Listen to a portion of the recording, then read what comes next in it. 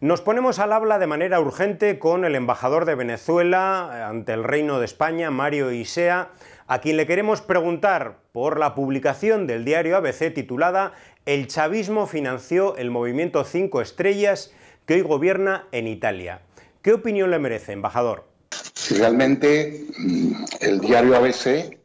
eh, pensamos que como una práctica ya mm, recurrente, eh, publica sin basamento, sin fundamento, eh, informaciones no verificadas para desprestigiar al gobierno de Venezuela. En esta oportunidad ha publicado un supuesto documento falso mediante el cual se estaría involucrando al gobierno del presidente Chávez en tiempos en los cuales el presidente actual, Nicolás Maduro Moros, era el canciller de la República Bolivariana de Venezuela, en una financiación, una supuesta financiación al movimiento Cinco Estrellas de Italia. Digo que eh, sin ningún tipo de dudas, un documento falso, forjado, porque en dicho documento hay evidentes defectos que demuestran que es simplemente un burdo montaje. Ese documento, en ese documento, supuestamente el Ministerio de la Defensa de Venezuela, eh, un, un, organismo de ese, interno de ese ministerio, estaría pidiendo que se investigue el asunto. Llama la atención que para la época en que se señala que supuestamente se produciría, se, habría producido aquel documento, que es el año 2010, ya el Ministerio de la Defensa eh, había sido cambiado de nombre. En Venezuela el Ministerio de la Defensa se llama Ministerio del Poder Popular para la Defensa. Pero adicionalmente hay un sello en el documento eh, donde aparece el escudo de la República y aparece un escudo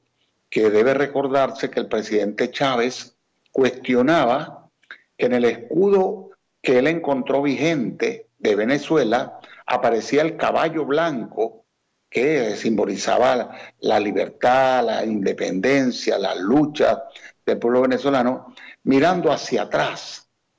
Y ese escudo fue cambiado por ley con, colocando entre otras cosas un caballo que miraba hacia adelante. De modo que podríamos seguir enumerando elementos que demuestran la falsedad, el forjamiento de ese documento, lo cual eh, hemos advertido al director del diario ABC que podría significar que ABC estaría incurriendo en falseamiento de, de documentos. Esto incluso en nuestra legislación está tipificado, falsedad documental y falsedad material, para tratar de pasar por ciertos hechos que son falsos o inexistentes. De modo que hemos pedido al director de ABC, mediante esta solicitud de réplica, que se publique nuestro reclamo en un espacio proporcional al que usado el diario para desplegar una falsa noticia en base a un documento falso. Esto, José, tiene una connotación además eh, muy importante. Se están publicando infundios contra Venezuela, contra su gobierno, en momentos en los cuales eh, lo que predomina en el mundo es el combate a la pandemia del COVID-19. Hace cerca de dos meses se publicaba que se tenía la expectativa de que Venezuela fuera el epicentro de la pandemia en América del Sur. Hoy resulta que el epicentro de la pandemia en América del Norte es Estados Unidos y en América del Sur es Brasil, seguido muy de cerca de Perú, y así sucesivamente. Los países más protagónicos del llamado cartel o grupo de Lima contra Venezuela en el seno de la eh, nefasta OEA, Organización de Estados Americanos que preside el delincuente de, Almagro, eh, son los que están en la peor situación de contaminación y de fallecidos, incluyendo a Ecuador, que se incorporó al concierto de, grupos de, gobernantes que atacan a Venezuela, después que traicionó a la revolución ciudadana, después que el presidente Correa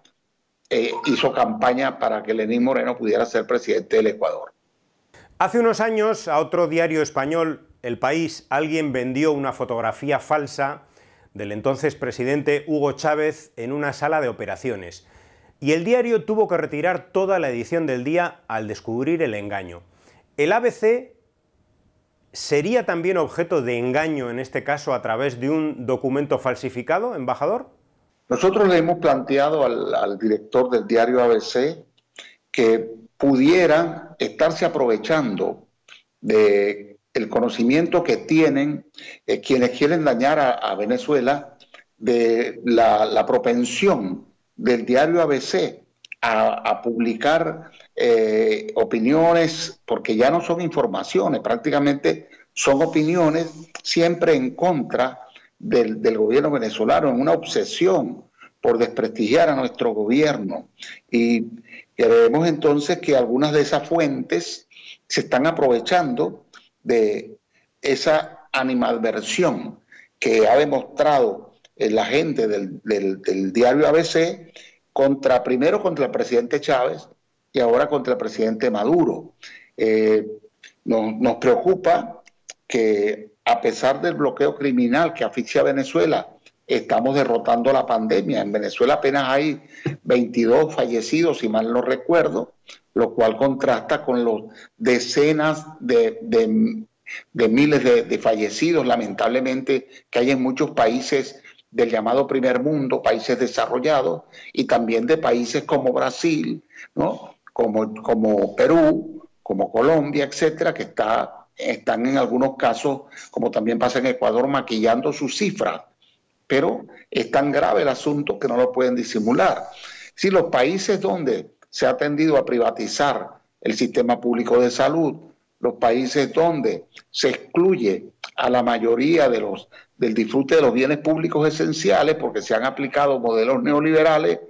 durante décadas, más reciente ahora, digo, se suma Ecuador y por eso el desastre eh, en combate a la, pandemia, a la pandemia que tiene, eh, están teniendo estas cifras eh, desastrosas para el pueblo. No deseamos que eso ocurra, sino todo lo contrario. En, Venezuela, a pesar del bloqueo de la asfixia, estamos derrotando la pandemia y estamos haciendo un esfuerzo heroico porque le hemos abierto las puertas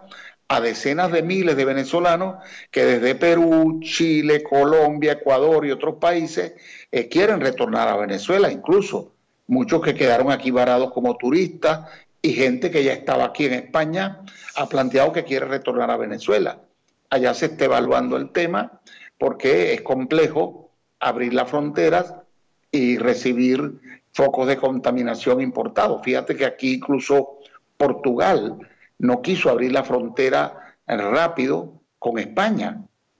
y así hay otros países que han cerrado sus fronteras. Bueno,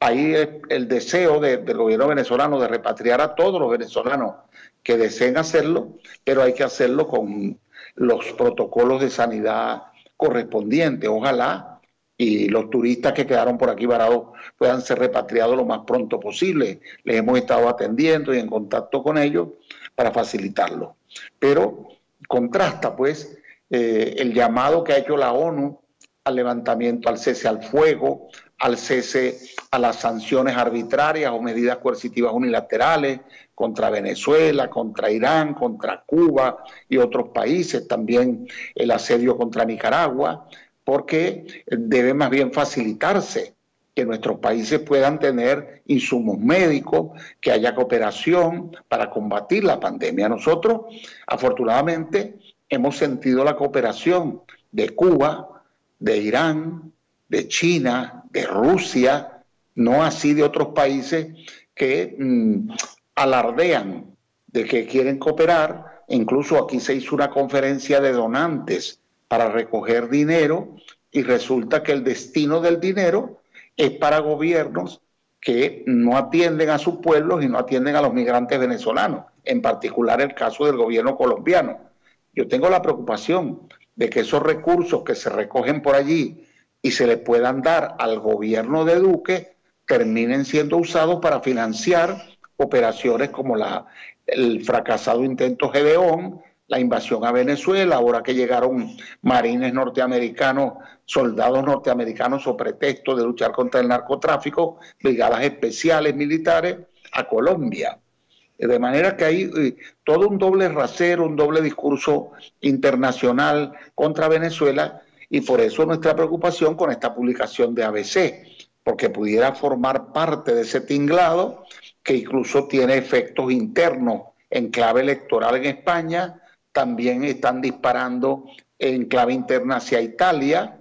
porque este movimiento cinco estrellas eh, está siendo usado para tratar de vincular a Venezuela con ideologías que no son las que animan al movimiento bolivariano. Este movimiento cinco estrellas nace por allá por 2009 con un ideario muy diferente al ideario bolivariano. Incluso esto hace también es un elemento que demuestra la falta de autenticidad del documento. ¿Qué interés podría tener el gobierno bolivariano, el presidente Chávez, en financiar un movimiento fuera de la frontera de Venezuela? Ninguno. Pero además, en ese momento, Cinco Estrellas, según he conocido, nació como un movimiento, ni siquiera como un partido político. En 2009-2010 no tenía ninguna incidencia en el panorama eh, italiano. De luego tiene cierta relevancia y está haciendo entonces, eh, mm, digamos, se está haciendo un ataque también al contexto político italiano, buscando predisponer al gobierno italiano con Venezuela, también disparando hacia dentro de España en una campaña que obviamente va dirigida contra las fuerzas progresistas, contra el propio eh, gobierno actual de España. Y bueno, eso yo creo que debe llevar a la reflexión a, a los demócratas que han visto cómo nosotros hemos soportado una infame guerra económica y una infame guerra mediática sin ningún tipo de ética, que es por, el, por lo que estamos llamando la atención al diario ABC. Incluso pensamos que se está tratando de desvirtuar un hecho democrático que está ocurriendo en Venezuela, que es que hay un sector importante de la oposición promoviendo el diálogo, una mesa de diálogo, y esa mesa de diálogo ha tenido un resultado. En primer lugar, el 5 de enero de este año fue electa una directiva de la Asamblea Nacional que no preside Juan Guaidó, y hay un empeño internacional liderado por Estados Unidos con mucho seguidismo de otros gobiernos por mantener vigente a Guaidó, que ha fracasado rotundamente porque lo que ha hecho es convocar golpes militares, eh, alzamientos, insurrecciones que no han sido acompañadas por el pueblo, ni el pueblo civil, ni, ni el pueblo en armas. No ha habido acompañamiento ni de los militares ni, ni de los civiles venezolanos a estos llamados a la violencia que ha hecho Guaidó. De modo que ese intento por legitimarlo cuando realmente incluso se dividió su fracción opositora en la Asamblea Nacional y hubo una elección con otra directiva, que ahora incluso esto deriva en que ante la negativa de elegir, nombrar por el mecanismo constitucional previsto a los rectores del Consejo Nacional Electoral, que deben supervisar las elecciones parlamentarias este año y más adelante cuando toquen las elecciones presidenciales, no lo hicieron, motivo por el cual la nueva directiva ha pedido y la mesa de diálogo ha pedido al eh, Tribunal Supremo de Justicia que designe ante el vacío eh, jurídico, ante el vacío de acción de un órgano que tenía que actuar en el marco de la Constitución para renovar el Consejo Nacional Electoral, eh, lo nombra entonces el Tribunal Supremo de Justicia, porque está previsto en nuestra Constitución que el vacío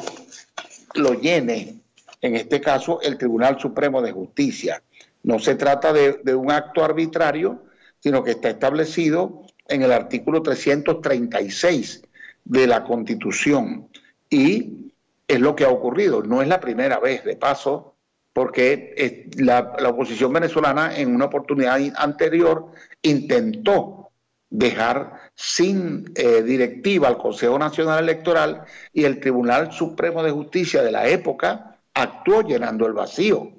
cuando fue presidente, si mal no recuerdo, eh, del Tribunal del Consejo Nacional Electoral, el doctor Francisco Carrasquero, quien de paso fue decano de la Facultad de Derecho de la Universidad del Zulia, de la cual yo soy profesor jubilado, y también fue rector de la Universidad Rafael María Baral en la costa oriental del lago de Maracaibo. Muchas gracias, embajador, por atender a Cuba Información y por su tiempo. Buenos días.